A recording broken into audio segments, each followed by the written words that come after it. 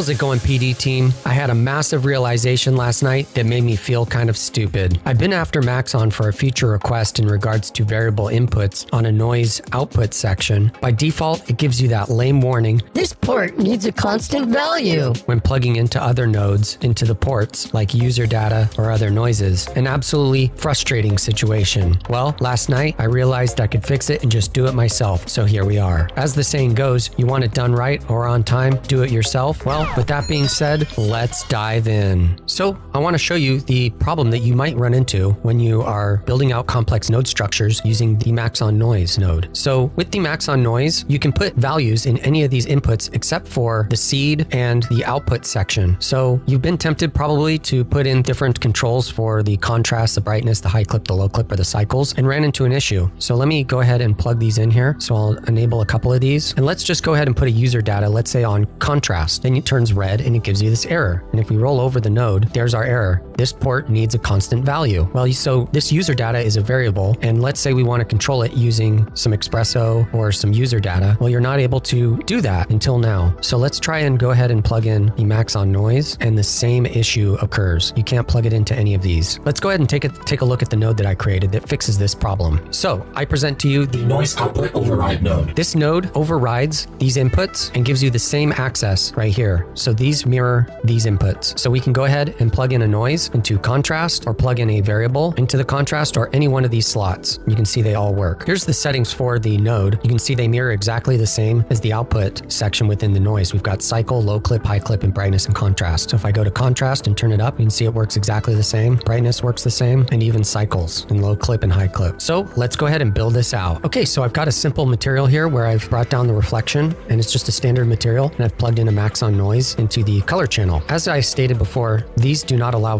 variable inputs like noises or user data. So let's go ahead and build a node that overrides these. So what we're going to do is we're going to right click and say create empty group, give it a name. I called my noise output override, give it a color. There we go. And we're going to take our input, plug it in, take our input, plug it in. We'll rename this noise in, noise out. Then we're going to go inside. And what we want to do is we want to first, we'll start off with adding contrast. So contrast can be done using the gain node. So I'm going to type in gain and we're doing float gain. To rename it to contrast. And we're going to be plugging these in series, which means they're going to be in line with each other. So we're going to come in here and plug this into the input and plug this to the output. Okay, now that we've added the contrast node, you can see it goes from zero to one. We want to remap these to be negative one to one because that's how the contrast node works. In if I go back here, you can see the middle point is zero, goes to positive one, negative one. So to fix that, what we're going to do is we're going to override it by using a change range. And we'll do a float change range. You don't need the inputs. We also need a value. Give your value a color. So this value, we want to be able to do negative one to one. So when we plug this in, we're going to change the inputs from negative one to one, and it's going to spit us out a zero to one. And there we go. So now if I set this to one, we should have full contrast. Okay, so you can see that we have full contrast in our image here. If I set this to negative 0.75, we'll have less contrast. And there we go. So I'll set this to zero. So that's working. Next, what we want to do is let's go ahead and add brightness. So I'll double click. And for this one, we're going to use what's called the bias node, do the float bias. We'll rename it to brightness, give us some more space here. And this one we're going to add before the gain. So I'll plug this into here like so. So next brightness gets attacked. And then what we can do is we can duplicate these nodes here because these work exactly the same. Control drag, plug this into here, and there's brightness. So I'll rename this to brightness and this float value to contrast. Next, what we want to do is we want to adjust the high clip and the low clip. So for this one, we're going to be using the divider node. So I'm going to come in here and type in div float divider, and I'll rename this to high clip. This one gets plugged in to here, and then this one gets pl- plugged into next, the input of brightness. And this just gets a value here. So we'll rename this value to high clip. And high clip, the default value is set to one, and we plug it in. The next node we're going to do is low clip, which uses the sub, which is subtract. And this one gets plugged into here, and then this gets plugged into the output, into the input. We'll rename this one to low clip, and we'll take this float value, we'll call this low clip, and the default value is set to zero. Plug it into the input. So how this is working is our low clip is just subtracting, our high clip is dividing, our brightness is biasing it, and our contrast is adding gain. So the next one is kind of tricky. We're going to create a modulo loop for the cycles. If you don't find yourself needing to use this, uh, you can go ahead and skip this part. I'm going to go ahead and build it out. I've covered this in other tutorials. If you look at the planet shader or any of the other materials where I loop, I'll link in the description below where I've done this. But basically what we do is we add a multiply node, so MUL, and this is going to be how many times it loops. So our loop count gets plugged in. So we're going to take our input and then we're going to take our modulo node, so MOD, plug that in, and we leave this to default to one. This gets plugged in and this gets plugged in. And then our last node that we need to get plugged in is the ramp. And I'll explain why we need to have a ramp in here in a second. So we're going to take this,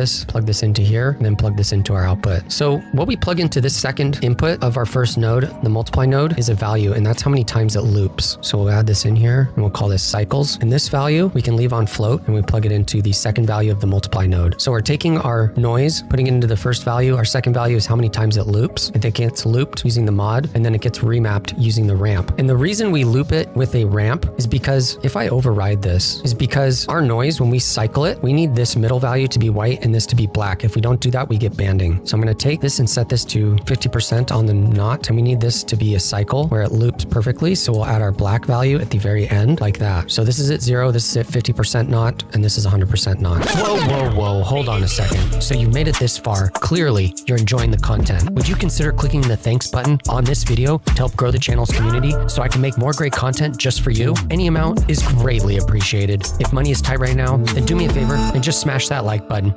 immediately. Now to the video. And so let's go ahead and plug these values in and get it working. So I'll do it in order. So I'm going to do cycles first, the low clip next, high clip next, brightness next, and contrast next. And that's our final output. And that's our final input. So here is the node completed. So let's go ahead and try it out. And our cycles needs to be set to 0.5 for it to work. Now we can try the high clip. So I'm going to just click once here. You can see it's clipping the blacks, bring this down, clipping the whites. So that's working. Our brightness, brightening it, darkening it, and then our contrast, removing contrast. And there we go. So everything is working perfectly. Let's go ahead and clean this node up and build out the UI. And there we go. So it's all cleaned up. So what I'm going to do is I'm going to right click and say edit resources. And with this scary dialog, we're going to go to cycles. And we're going to put the default value to 0.05. And the steps, we're going to do 0.1. And the slider limits, we'll put to 0.5 and to 10 for max. So there's the slider for cycles. Then low clip, we're going to enable this, set the value to 1 on the slider max. And the steps, we'll do 0.01 and leave the default to 0. High clip, default value is set to 1. We'll go to our slider limits, add 1 to the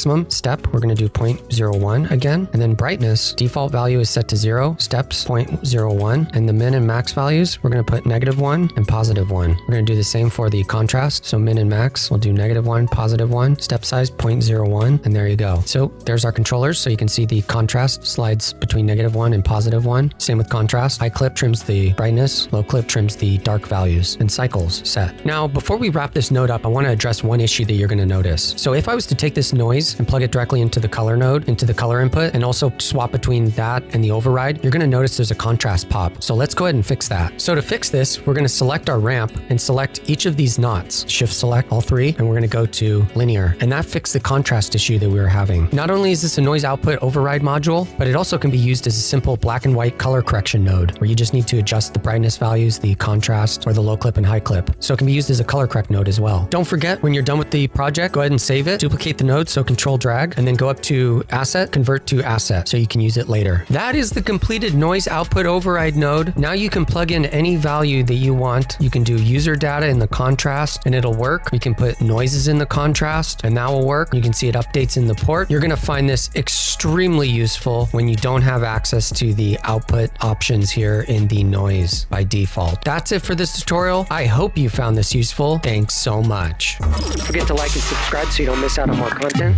Thanks for your support.